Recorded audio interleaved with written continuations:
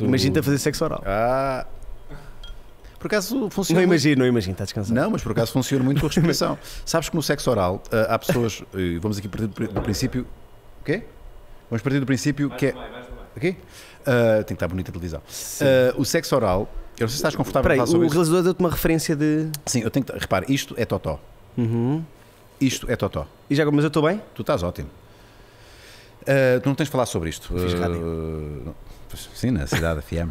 Ah, não tens de falar sobre isto, mas eu partilho a minha, a minha opinião. O sexo oral, muitas vezes, os homens que praticam sexo oral a mulheres, portanto, estamos a falar do contacto boca, genitália feminina, muitas vezes os homens esquecem-se que o movimento repetitivo e monótono e minimal da língua é muito redutor. Ah, nós temos uma coisa muito interessante que é o nariz, que pode participar na brincadeira.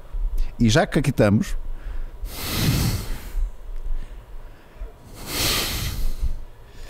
Imagina isto. Imagina que isto é um enorme clitóris e Sim. repara como ele fica.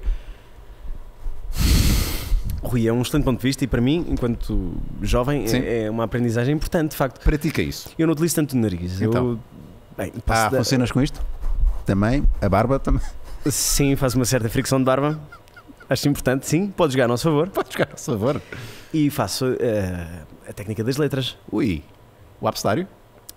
Escrevo palavras. A, B. Porque assim, Ah, escre- nós, uma pessoa está lá em baixo também tem que se divertir, não é? Sim, sim, sim. Então faço, às vezes faço, Fa- escrevo um- pequenas palavras. Um ditado?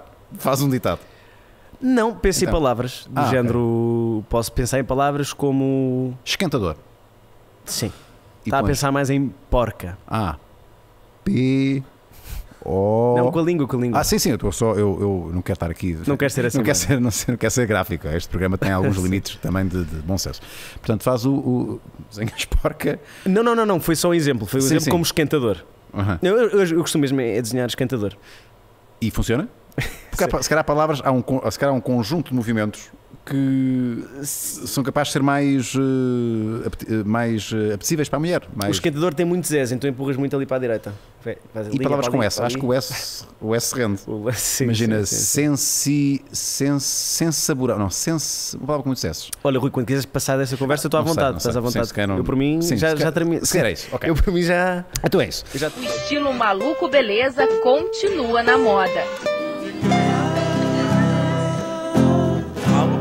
beleza do. Beleza do...